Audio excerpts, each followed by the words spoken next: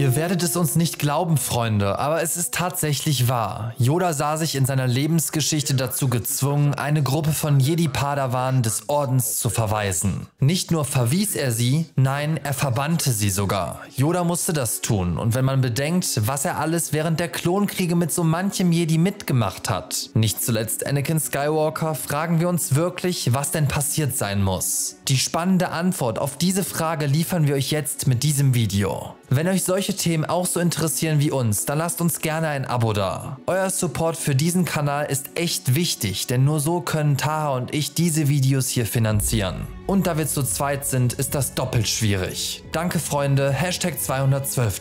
Gemeinsam sind wir stark. Innerhalb der Lehren des Jedi-Ordens sind wir eine recht dogmatische Sichtweise gewohnt. Die Lehren werden durch den Hohen Rat und die darauffolgenden kleineren Räte vorgelebt. Doch während dieser Lehren, gerade im noch nicht vollständig unterwiesenen Padawan-Alter, werden die Weisheiten der Macht uminterpretiert. Padawane machen sich in ihrer Ausbildung so oder so eigene Gedanken über die vermittelten Lehren. Das ist ein völlig passiver Prozess und so kommt es dazu, dass es im Falle mancher Charaktere durchaus zu besonderen Interpretationen kommt. Interpretationen, die nichts mehr mit der eigentlichen Lehre zu tun hatten. Ein gutes Beispiel ist hier natürlich Anakin Skywalker. Er wurde zwar nicht verbannt, warum das so ist, klären wir gleich, bei ihm ist allerdings diese besondere Gabe zu beobachten, sich Dinge zurechtzubiegen. Ein prominentes Beispiel ist das Thema Liebe in Star Wars Episode 2. Derartige Bindungen zu anderen Lebensformen sind eindeutig verboten. Padme wusste das. Doch als sie ihn fragt, entgegnete er ihr mit der Aussage, dass Jedi zur Liebe ermutigt werden. Mitgefühl ist sicherlich eine der wichtigsten Eigenschaften eines Jedi, doch wissen wir alle, dass Anakin hier doch seinen eigenen Interpretationsansätzen folgt. Obi-Wan war seine Zuneigung zu Padme bewusst und auch Großmeister Yoda sah Padme auf Anakin zurennen und umarmen, wenn nicht sogar küssen, als Anakin in Episode 2 seinen Arm verlor. All das hat nicht für eine Verbannung gereicht, doch lasst uns das Mysterium aufdecken, das zu einer derartigen Reaktion Yodas führen konnte.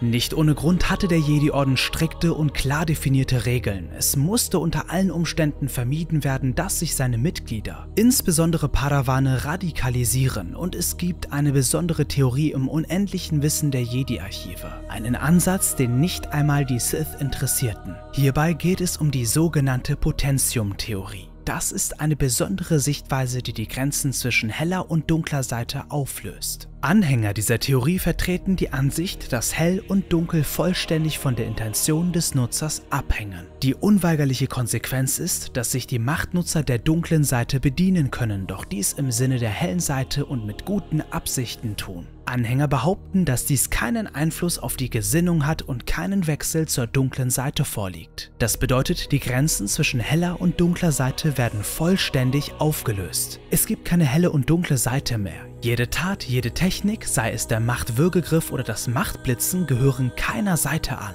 Es hängt lediglich von der Intention des Nutzers ab. Dem Handlungsrahmen sind damit keinerlei Grenzen gesetzt. Die Schlussfolgerung aus dieser Philosophie ist, dass jede Tat, egal wie abscheulich und grausam sie ist, mit der Intention Gutes zu vollbringen, begangen wurde und vor allem begangen werden darf. Diese Philosophie betrachtet damit quasi nicht den Weg zu einem Ergebnis, sondern lediglich das Resultat, das Ergebnis selbst und die Intention des Nutzers. Dass jeder aus seiner Perspektive erstmal das Richtige und vielleicht sogar Gute tut, wird dabei komplett außer Acht gelassen. Eine objektive Bewertung ist damit nicht mehr möglich. Anhänger dachten, dass die Jedi nur Angst davor haben, ihr volles Potenzial zu entfalten. Die Lehren des Rates verhindern das schiere Streben nach Macht, denn dieser Pfad führt in die Dunkelheit. Die Lehren des Rates sehen ebenfalls vor, die Grenzen der Macht nicht auszuloten, sondern sie setzen den Fokus auf die Bewahrung des Friedens. Und nach unendlicher Macht zu streben, ist des Frieden Todesurteil. Das bedeutet keineswegs, dass alle Potentium-Anhänger böse waren oder gar der dunklen Seite verfielen. Vielmehr sahen sie die Macht als Macht, ohne Gut und Böse, und die dunkle Seite als etwas, das sich in ihnen befand. Eine eigene Komponente, mit der sie sich auseinandersetzen müssen. Sie zu leugnen ist ein Fehler. Sie zu kontrollieren, das ist der Anspruch. Und an dieser Stelle müssen wir den Anhängern jener Philosophie einen Punkt geben. Selbst Großmeister Yoda besitzt eine dunkle Seite, die er erst am Ende der Klonkriege entgegenlernt zu kontrollieren, als er sich bei den Wills befindet. Sie zu leugnen gibt ihr Kraft. Ihre Mitglieder dürfen daher jede mögliche Fähigkeit nutzen, um diese dunkle Seite zu kontrollieren. Dies führte den Orden zu der Schlussfolgerung, dass es sich bei der Potentium-Theorie um eine Masche der dunklen Seite handelt. Jene schwachen Geister in ihre Fänge zu ziehen. Ironischerweise hatten die Sith selbst auch nichts dafür übrig. Plagueis äußerte sich sogar zur Potentium-Theorie. In seinen Augen handelt es sich dabei bloß um eine weitere Verzerrung der Wahrheit, die von jenen verbreitet wird, die sie von der Macht isolieren wollen. Weiter noch verglich er helle und dunkle Seite mit dem Bändigen von Feuer und Wasser. Er stellt damit heraus, dass es sich um völlig unterschiedliche Dinge handelt und nicht um eins. Wer wirklich recht hat, ist hier die Frage. Wir denken, die Wahrheit liegt irgendwo zwischen beiden Ansichten. Die Absicht eines Nutzers ist schon wichtig. Doch ob dadurch alle Taten legitimiert werden, ist fraglich. Die ersten Ansätze dazu wurden bereits über 130 Jahre vor der Schlacht von Yavin geformt. Es handelte sich zu dieser Zeit noch nicht um eine komplette Philosophie. Potentium steckte noch in den Kinderschuhen. Doch reagierte der Jedi-Rat entschlossen und versuchte diese Denkansicht schnell einzustampfen und in ihrem Keim zu ersticken. Leo Hall, ein Jedi, rekrutierte andere, die ihm in diese Theorie folgen sollten. Er suchte auf Alderaan und Coruscant nach potenziellen Anhängern seines Kultes. Der Jedi-Rat wurde hierbei nicht involviert und Hall agierte allein. Als Reaktion darauf schloss der Jedi-Rat alle Teilnehmer, alle Padawane und Hal selbst vom Orden aus. Sie wurden verbannt. Yoda stimmte der Verbannung zu. Hal akzeptierte wie auch seine Padawane. Sie hegten keinen Groll gegen die Jedi.